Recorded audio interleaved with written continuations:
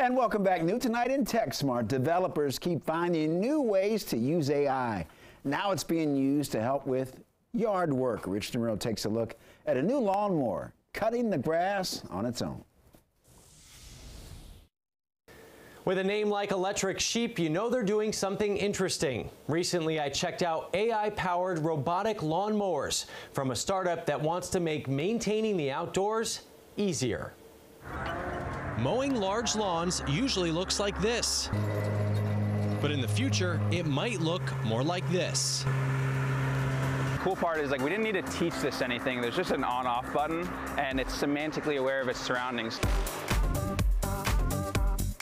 Jarrett Herold is co-founder of Electric Sheep, a company building autonomous robots to take care of outdoor landscaping. Rather than a, a guy sitting on top of a machine just going back and forth in straight lines, we've uh, handed off those workflows to our robots. The quiet all-electric mowers are programmed with AI that gets smarter with every job. They're robots that have common sense. That's where AI comes in. So they really just have to be set down um, and pointed in the right direction and you hit start. The bots are deployed alongside landscaping crews who can focus on other tasks. It's hard to hire people to do this work essentially. Right now they're operating at campuses, parks, and more.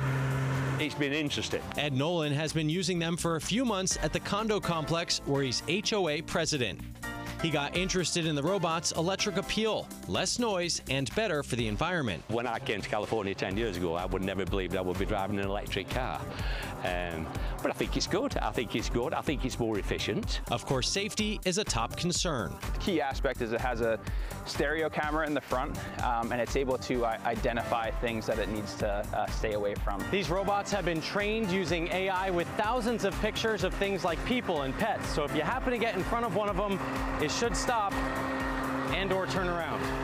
Thank you. But will these automated bots cut out humans in another way? It's not meant to be a labor displacement. It's, it's meant to work alongside humans to compound their productivity. So how good of a job do these electric sheep do? Well, in my demo, it was tough to tell because the lawn was already pretty well maintained. But unlike a Roomba, which can go in various directions, these robots are taught to make those great looking lawn stripes.